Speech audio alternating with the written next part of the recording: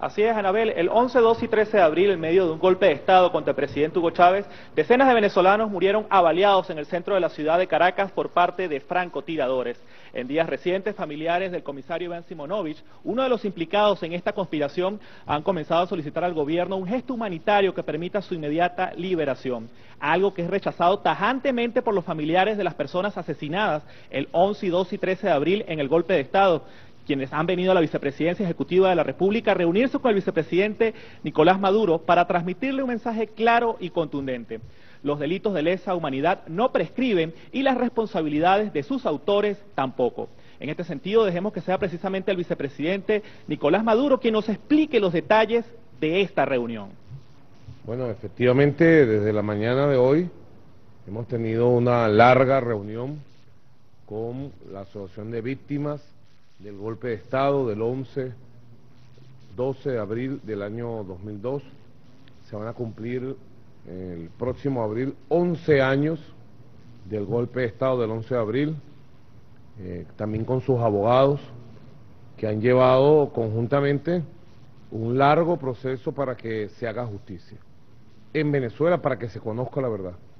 Hemos compartido y recordado aquellos momentos tan duros para nuestro pueblo, en donde se pretendió, a través de una emboscada planificada, premeditada, utilizar las fuerzas policiales de la antigua alcaldía metropolitana como punta de lanza para realizar una masacre que se realizó con la utilización de las fuerzas policiales, las fuerzas de choque élite de la Policía Metropolitana de entonces, y con la utilización de francotiradores traídos del exterior en su momento, coordinado en una sola operación que fue dirigida por los grupos golpistas, militares, policiales, de la derecha, de la oligarquía venezolana, en su momento para hacer aparecer al presidente Chávez como el responsable de una masacre, que justificara el golpe de Estado. Y así fue presentado a nuestro país y al mundo. Y solo después del milagro del 13 de abril, donde la insurrección cívico-militar de nuestro pueblo, nuestro pueblo uniformado en armas, gloriosa Fuerza Armada, y nuestro pueblo en la calle, el pueblo de a pie, rescataran al presidente Chávez y derrotaran el golpe de Estado, solo después se comenzó a conocer la verdad. Y todavía hoy, todos los días descubrimos parte de esa verdad, de cómo se planificó el asesinato vil de venezolanos, cómo sus autores, algunos presos y condenados, otros huyendo, algunos de ellos refugiados en Miami, eh, tuvieron la sangre fría de planificar estos asesinatos, como hubo testimonios inclusive de periodistas de esta cadena internacional CNN, donde contaba que estos asesinatos ya lo sabían mucho antes de que ocurrieran los militares que después grabaron el video. Bueno, hemos en este momento hecho una reunión, hemos recibido especialmente a las víctimas, a sus familiares, aquí están viudas de hombres, trabajadores venezolanos que fueron asesinados por estos personajes siniestros que planificaron y dirigieron el golpe de Estado. Aquí están víctimas directas que quedaron con secuelas para toda su vida, con algunas discapacidades físicas, motoras, inclusive un compañero que está aquí presente que recibió un tiro en la cabeza y bueno, está echando para adelante, trabaja todos los días, ama nuestro país y, pero quedó con algunos problemas y discapacidades comunicacionales porque su cerebro recibió el impacto de una de, las balas de estos asesinos. Están sus abogados y abogadas que han hecho un tremendo esfuerzo porque se haga justicia. Se ha hecho justicia parcial con estos casos. Nosotros lo hemos escuchado. Eh, como gobierno bolivariano del presidente Chávez, nosotros seguimos exigiendo justicia estos crímenes gravísimos contra los derechos humanos, como están contemplados en los convenios internacionales y nuestra propia constitución, de la, República Bolivariana de Venezuela. Son crímenes sumamente graves que eh, tienen que ser castigados, algunos de ellos han sido castigados estos crímenes, para que no haya impunidad, porque precisamente la impunidad es la que permite que se reproduzcan al futuro. Nosotros llegamos hace apenas unos días de Chile y en Chile tuvimos la oportunidad, digamos, impresionante de poder subir ahí en el Palacio de la Moneda, Palacio Presidencial, donde cayó, donde se inmoló el presidente Salvador Allende, y pudimos conocer en el mismo momento, después de la cena de honor que dio el presidente Sebastián Piñera, solicitamos autorización para ir a las oficinas donde estuvo el presidente Salvador Allende. Y allí estuvimos precisamente en el mueble donde él, dicen que con el AK-47 que le regalara el comandante Fidel Castro, luego de disparar y combatir solos contra aviones, contra tanques, decidió inmolarse, así como se inmoló Ricaute aquí, en nuestro pasaje histórico heroico de la lucha de independencia. Prefirió no caer en manos del enemigo, de la patria. Prefirió no ser como él lo prometió en su momento, el presidente Salvador Allende. Porque él le juró al pueblo, desde el mismo día que lo eligió, que jamás renunciaría que jamás traicionaría al pueblo y que lo sacarían muerto del palacio presidencial si la felonía de los traidores pretendía imponerse. Y así lo cumplió. Y ese mismo día el presidente Salvador Allende derrotó ética y moralmente a los fascistas que lo derrocaron y que lo asesinaron y que lo llevaron a su muerte. Así se diga que se suicidó, no, él se inmoló el presidente Salvador Allende. Y todo eso nos hizo recordar de manera muy vivo lo que nosotros, los venezolanos, experimentamos el 11, 12 y 13 de abril, cuando en Venezuela pretendió imponerse una dictadura fascista de las mismas características de la que derrocó al presidente Salvador Allende. Si esos crímenes apenas se cometieron para justificar el golpe de Estado, ¿Qué hubiera pasado en Venezuela si se hubiera impuesto esa dictadura fascista? ¿Cuántos miles de hombres y mujeres humildes hubieran sido asesinados, capturados, torturados, desaparecidos, confinados? Hubieran sido miles. Y después algunos de estos que se dicen que fueron de izquierda y que están ahora a la derecha hubieran salido a justificarse. No, no estamos de acuerdo con eso. Pero fueron cómplices en su momento y todavía son cómplices, llamando presos políticos a quienes no son, y que estuvieron incursos en uno de los crímenes de 100 años en la historia de Venezuela, que quien lo analice se dará cuenta de uno de los crímenes más graves. Una cosa es la confrontación política de ideas, la confrontación y lucha que ha habido en nuestro país en algunos momentos históricos, que ha llevado a algunos venezolanos a tomar las armas para luchar de distintas maneras, en distintos bandos, por sus creencias, por sus ideas. Y otra cosa es premeditar crímenes de hombres y mujeres inocentes para justificar golpes de Estado, como ocurrió el 11 de abril aquí. Y la ley tiene que caer con todo su peso sobre esos criminales.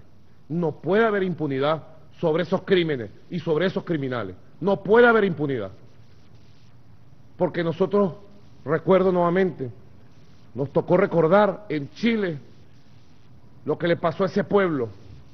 Más de cinco mil desaparecidos, jóvenes torturados en la soledad de su dolor, toda una generación asesinada, miles y miles de hombres y mujeres que para salvar su vida tuvieron que irse a otros países, como aquí en Venezuela que hubo miles de chilenos, o en Europa, o en la Unión Soviética de, entonces un desastre, una tragedia que le tocó vivir dos décadas al pueblo de Chile, para solo recordar a uno de nuestros pueblos hermanos que le tocó vivir esa, esa tragedia. Y aquí en Venezuela se pretendió imponer eso.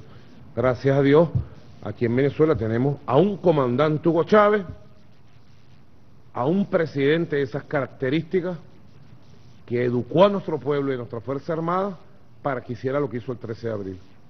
Y bueno, 11 años después nosotros recordamos esas fechas todavía con dolor, sin odio, con dolor y con un profundo amor por la gesta heroica que nuestro pueblo cumplió. Esos días 13, 14 de abril, el 11, el 12 de abril, y por la gesta heroica que ha cumplido todos estos años, para que la revolución bolivariana, que la quisieron matar cuando era una niñita recién nacida, hoy ya vaya a cumplir 14 años, ya sea una joven, una joven inteligente y con ganas de vida. Esa es la revolución bolivariana. El 2 de febrero cumple 14 años. Gracias. ¿A quién? Al pueblo de Venezuela y a su líder histórico, a nuestro presidente Hugo Chávez. Así que bueno, todas estas reflexiones las hacemos porque esta conversación ha sido muy sensible. Nosotros sentimos en las víctimas amor a la patria. Y bueno, las secuelas de las balas asesinas y traidoras del 11 de abril, que todavía pasan por su cuerpo permanentemente y nos tienen que recordar por 200 años lo que es capaz de hacer la traición, lo que es capaz de hacer la oligarquía, lo que es capaz de hacer gente que actuó en coordinación con la Embajada de los Estados Unidos en Venezuela en tiempos del gobierno de George Bush. Hay suficientes pruebas de eso en el expediente, de los juicios y de las condenas que se dieron. Y hay suficientes pruebas históricas que seguirán saliendo. Así que queríamos nosotros agradecerle a las víctimas del 11 de abril, a sus familiares, a las viudas, a sus abogados por haber atendido esta invitación y bueno, eh, comprometernos con ellos a que vamos a seguir esta labor de difusión de la verdad histórica y bueno, que nuestro pueblo siga reforzando su conocimiento de esos hechos históricos, siga reforzando sus eh, valores, sus convicciones de que solo a través de la Constitución, de la ley, de la justicia, podemos nosotros construir la paz, sin impunidad. Con impunidad lo que hacemos es reproducir los crímenes hacia el futuro, dejarle abierta una puerta a la traición. Eso es lo que hace la impunidad. Y aquellos que se comprometen con la traición y la impunidad, lo que hacen es eso. Donde estén, en el cargo que estén. Lo que hacen es abrirle la puerta a la antipatria. A la antipatria, así de sencillo. Así que bueno, le agradecemos realmente. Nosotros los vamos a dejar a ellos. Tenemos que salir a cumplir algunas actividades de nuestro gobierno permanentemente.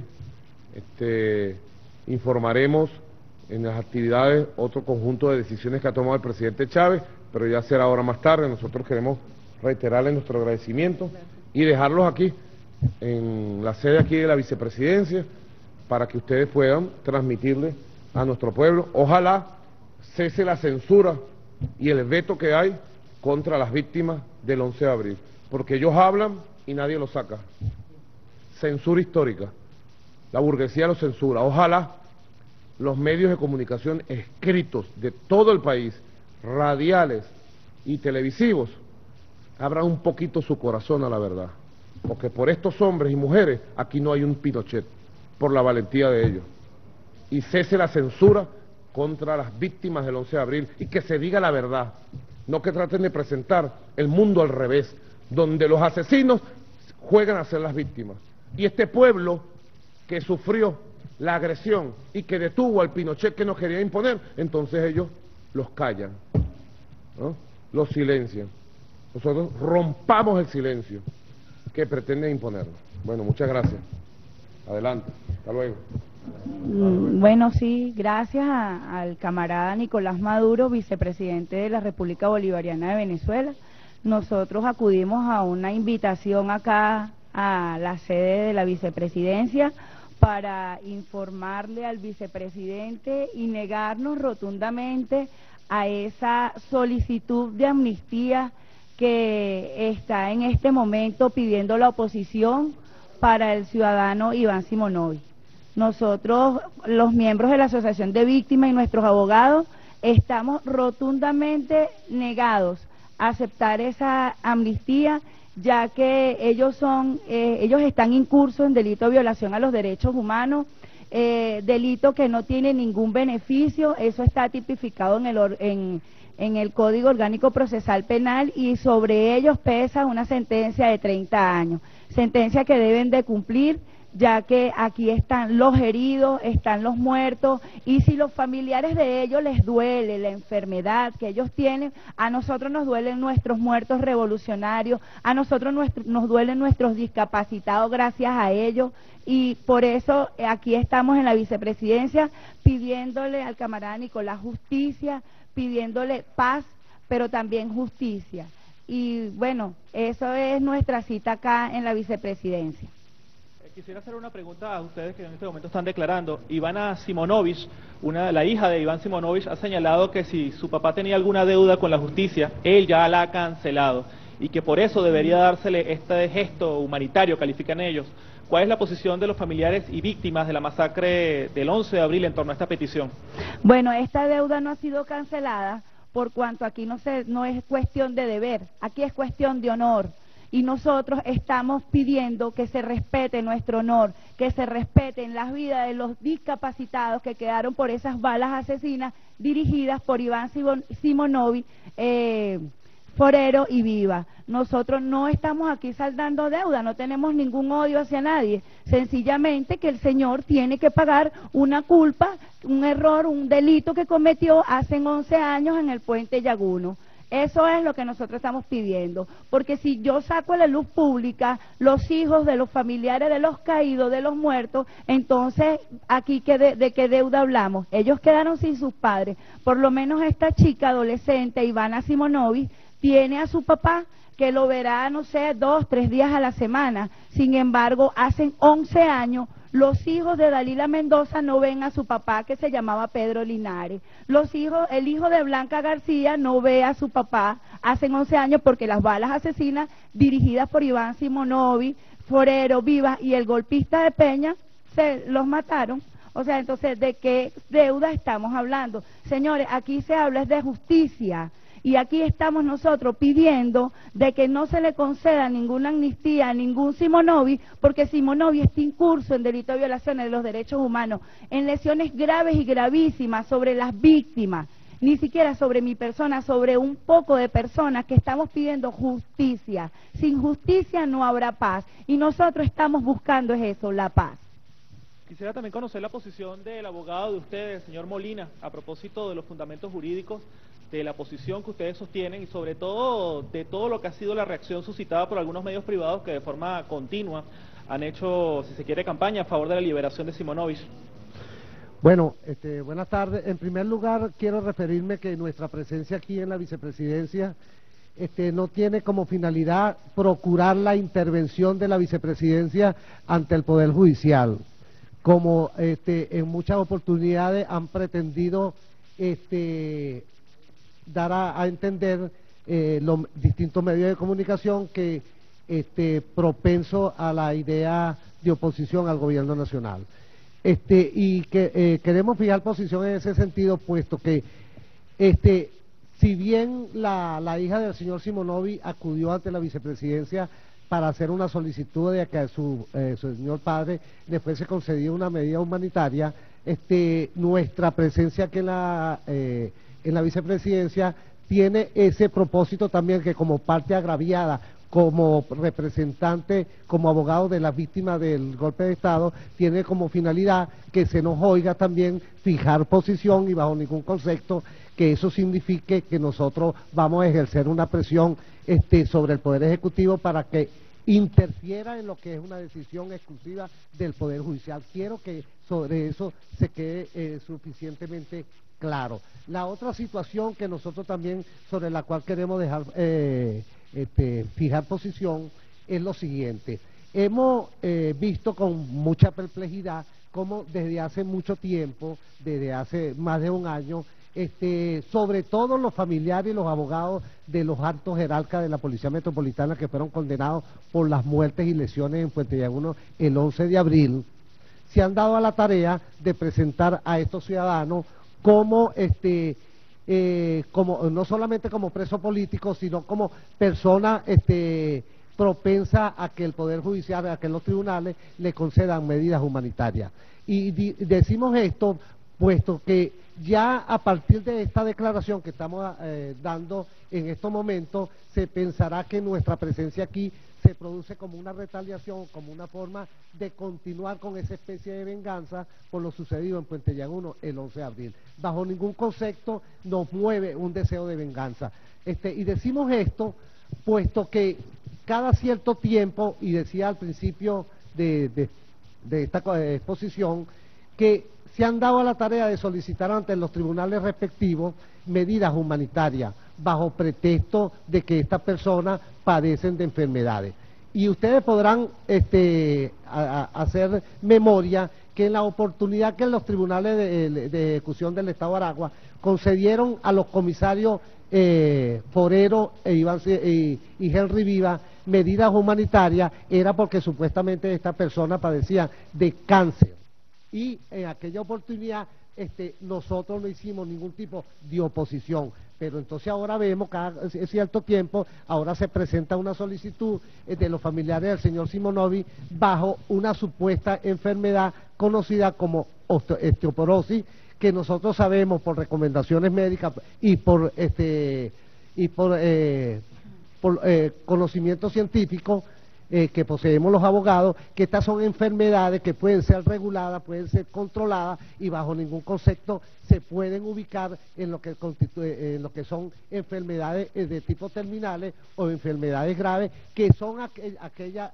únicas enfermedades bajo las cuales, bajo los supuestos, un juez de ejecución puede conceder una medida humanitaria. Y en ese sentido, nosotros vamos a estar muy vigilantes bajo esta situación porque nosotros pensamos que bajo esa esa, esos supuestos se, viene, se quiere convertir la concesión de medidas humanitarias en una especie de guachafita donde cada cierto tiempo este, bajo esos criterios se pretende que los tribunales concedan este tipo de medidas humanitarias. Y en los próximos días vamos a acudir a los tribunales del Estado de Aragua a ver cuál es la real situación este, eh, eh, cuál es el fundamento de la solicitud de los familiares y abogados del señor Simonovi para que este señor se le conceda una medida humanitaria. Y si es bajo el, concepto de que se trata de una enfermedad eh, o este, osteoporosis, nosotros vamos a, solicitar que eso sea debidamente certificado por un médico forense donde se establezca si realmente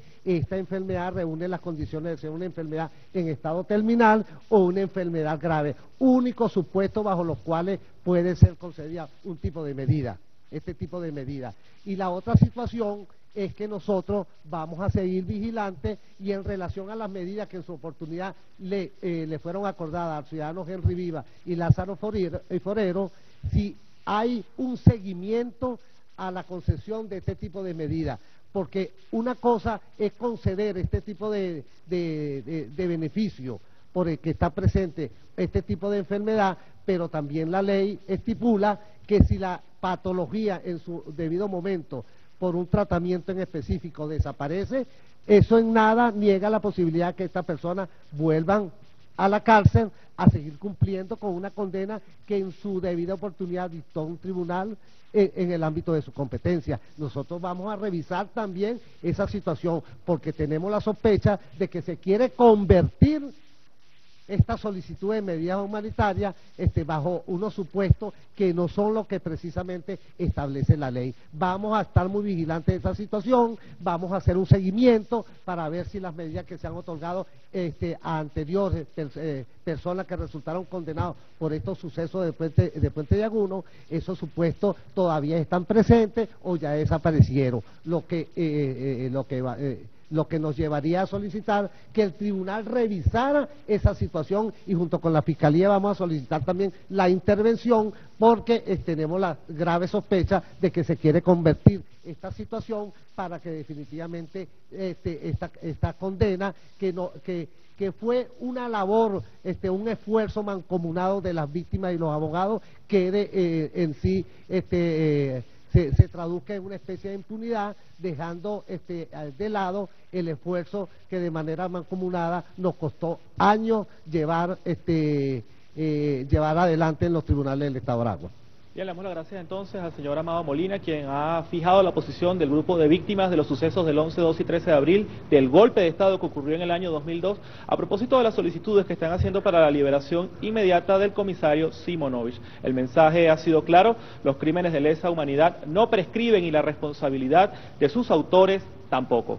Anabel.